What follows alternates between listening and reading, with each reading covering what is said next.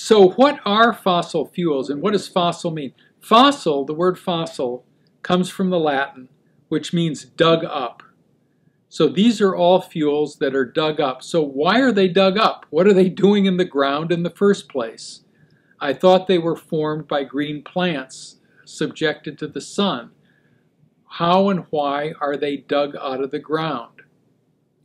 Well, let's look at the history of plant growth. Here we have a, here we have a tree.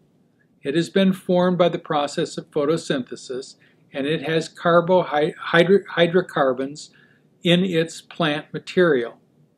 We could burn this plant, burn this tree, and the energy that had been put into it in the, in the chemical reaction of photosynthesis would be replaced.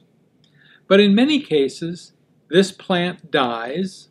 When it dies, it falls down on the ground, and then it is covered up by sediment.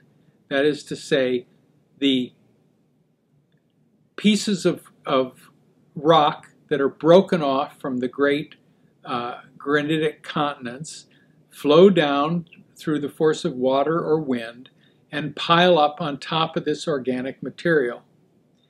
The weight of that sedimentary material on top of the dead organic material piles up into very thick uh, layers these layers can be miles and miles thick, formed over many millions of years.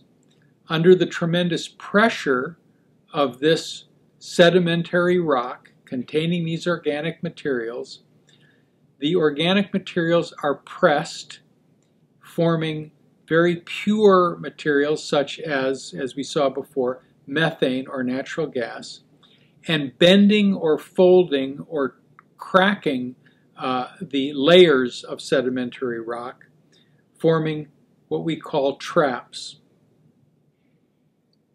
When we dig up the trapped liquid or gaseous hydrocarbons that have been uh, buried under these sediments, we are in essential, what we're doing is essentially dropping a pipe down into the rock and because the organic materials, the liquid and gases, are under so much pressure, they rise through the pipe of their own accord and can be extracted and burned. That's why when you see the a a great gusher, such as you saw in the movie Giant, when the uh, uh, oil underground is tapped, it comes out in a tremendous burst out of the uh, uh, oil uh, pipe, and you can burn off the gas released in a continuous burning process called flaring the gas. Now, how did so much of this buried uh, oil and gas find its way into the Middle East? Well, this illustration will help explain. Hundreds of millions of years ago, the what is now the Middle East was covered by a prehistoric ocean known as the Tethys Ocean, pictured here. On either side of this ocean were great continents, what we would now call Asia to the north, or what we might call Africa to the south and west. From these continents, organic material and sedimentation were deposited in this shallow Tethys Ocean.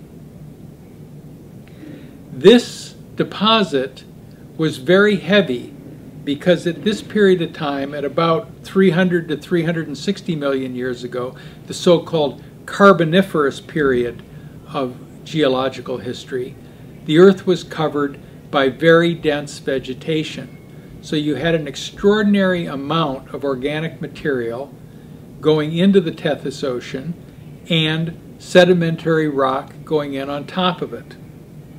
Then along comes the tectonic forces we talked about before, the movement of these great tectonic plates, and the crushing of the floor of that ocean. That crushing between these powerful tectonic plates created the sedimentary rock that was folded and fragmented and now lies on either side of the Persian Gulf.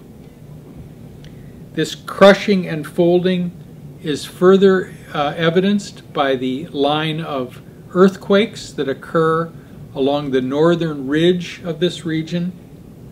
And today, at the bottom of the Persian Gulf, lie deposits of these ancient organic materials formed into oil and gas and trapped in the sub-oceanic uh, rocks that now form the base of the Persian Gulf. It is the ability to pipe into, tap, and extract this oil and gas that has produced the enormous wealth of countries on either side of this Gulf.